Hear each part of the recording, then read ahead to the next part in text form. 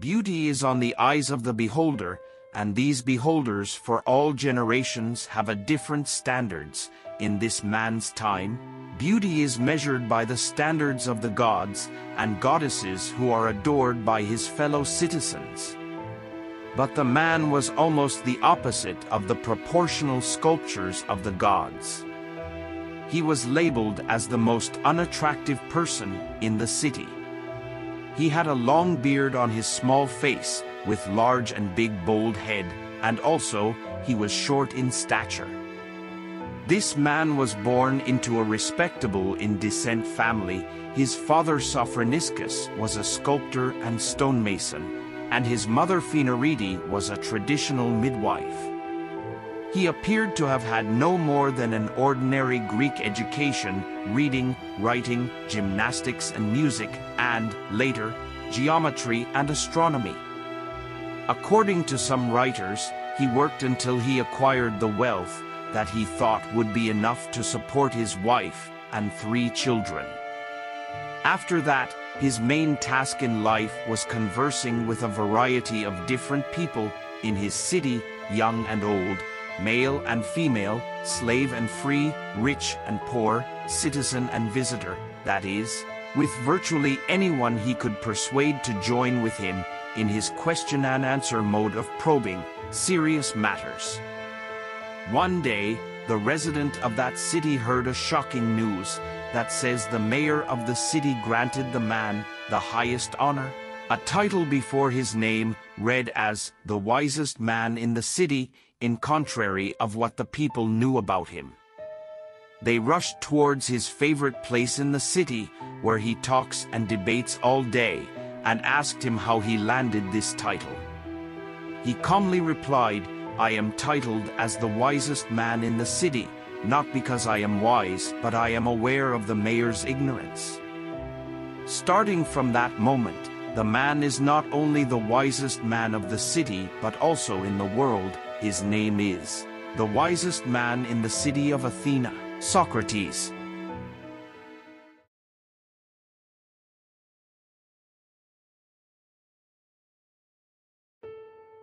Pre-Socratic philosophy were much more interested in establishing how the world works. In ancient Greece, Maltese city, under Thales' leadership, philosophy started to blossom by thinking. The truth of everything is water. The student of Thales, Anaximander, thought the truth of everything is apeiron. And he was asked, what is apeiron? His answer was simple, I don't know. And once more, philosophy fall in the hand of Anaximenes, student of Anaximander. He thought the truth of everything is air, because of it, we could see the trees, the hills, the mountains, nature, everything. But Socrates' philosophy was concerned with how people think and behave. For him, philosophy has to deal with the human mind, not air, water, etc. He is credited as one of the founders of Western philosophy. His views were vital in the development of major philosophical movements and schools which came after him, including Platonism, Cynicism, Stoicism, and Hedonism. Until now, any philosophical texts written by him weren't discovered, but his teachings were obtained from his students and contemporaries, particularly Plato's dialogues Aristotle, Xenophon, and Aristophanes, most of them, in dialogue form. Socrates believed all the good things are grown from wisdom, bad things from ignorance. And the greater wisdom is to know one's ignorance, and knowing comes from thinking. This was his way how he tested and failed all the respected Greek philosophers who he crossed paths with. A teacher went to Socrates to know him when Socrates noticed he was a teacher, he asked, Before you share your knowledge to your students, are you aware of your own ignorance? The teacher who praised Socrates so much replied, I am aware of that. Socrates, then go and tell this to your students. Teacher, but what if they leave me? Socrates replied, Then you will be free and learn here with me. And on another day, a very feared and respected government official stopped Socrates on one of Athena's streets and asked, I have served my country and people in the office for a while now. But I still don't understand how to behave like a government official. Socrates smiled and replied, an official is a one that can't control his desire, but want to control his people's desire. Without looking back, he continued his journey. For Socrates, the problems we encounter are caused by ignorance, and the only solution is wisdom.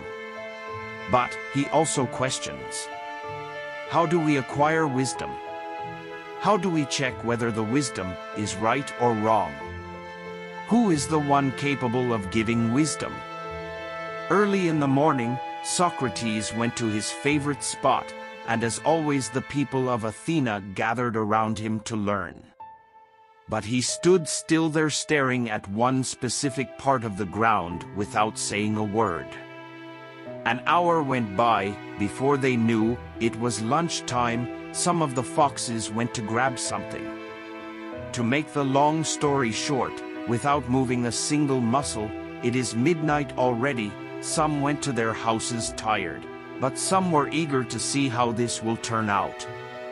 The next morning, Socrates shook his head like he suddenly understood something and smiled, then started to walk away from them. From the crowd, one young man asked, We were waiting for you all day and night, what were you doing? His answer was simple, thinking. That is why Abraham Kaplan in his book, The New World of Philosophy, described him, philosophy was living in the clouds, but Socrates grabbed and placed it on marketplace, but the people on the marketplace are still searching philosophy in the clouds. The saying, thinking made humans superior to animals has no place for him, he believed, thinking made the difference among humans, not between animals and humans. One day, Socrates was walking around the city and noticed a large crowd attending a lecture and slowly joined them. The lecture was about courage. Socrates spoke, I am sorry I interrupted you. What do you mean by saying courage? The teacher replied, Courage means even if the enemy is getting closer to you, it is the ability to stand still no matter what. He nodded and said, What if all your plans went out of the window and you should start to run away to save your life? The teacher answered, Well, in this case, courage transforms into the ability to run. Socrates, how could courage have the two only options a man has on a battlefield? The teacher started to shake in front of the crowd and said, Oh, Socrates, you tested me. Now thinking about it, I don't think I know much about courage.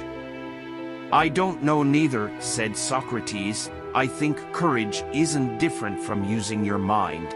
I will be surprised if it has another definition my brother, at any dangerous circumstances, choosing the right actions, is courage for me. A voice from the crowd yelled, that is the right definition. Socrates walked towards the man and said, So, let's agree courage means thinking using your mind, and its opposite, being reactive? The crowd agreed, Socrates turned to see if the teacher agreed with this idea. But the teacher wasn't there.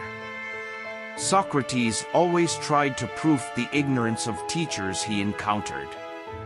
This action made him rich in friends and also made powerful enemies especially from the sophists. He was accused of disrespecting the gods and goddesses and leading the youths in the wrong way by the sophists. He is considered as the very antithesis of the sophists of his day, who claimed to have knowledge which they could transmit to others, often for payment, arguing instead that knowledge should be pursued for its own sake, even if one could never fully possess it. On the next day, Socrates was on trial in front of 500 judges. And he was given the chance to speak, and he spoke. I didn't infect the hearts of the youths. My job is always focused on finding the truth. I only taught them to assist me on my journey to find the truth. I displayed your ignorance to the people not because I hate you, but to elevate you to the position where you should be. But there is one truth, unexamined life isn't worth living. I didn't commit any crime, but if you sentence me to die, you will be the criminals. The majority of them voted guilty of his charges and sentenced him death by poison. Hearing this, Socrates said, For me, death means two things. One, I may enter into eternal silence, or I may transit to another world, both options excite me. Because, if I enter to eternal silence, there will not be voices like you, to disrupt my peace. And if I transit to another world, I am sure there will not be hate, jealousy, insult and also death sentences like what you are doing now. One day prior to the execution day, his student tried to free him by bribing the guards. But Socrates didn't like it and said to him, You know I lived my whole life respecting the law. I would rather die by the law than to be free by killing the law. That is why the followers and admirers of Socrates, even in modern times, say, it is always better to be thrown in jail for wisdom than to sit on Caliban chair with ignorance.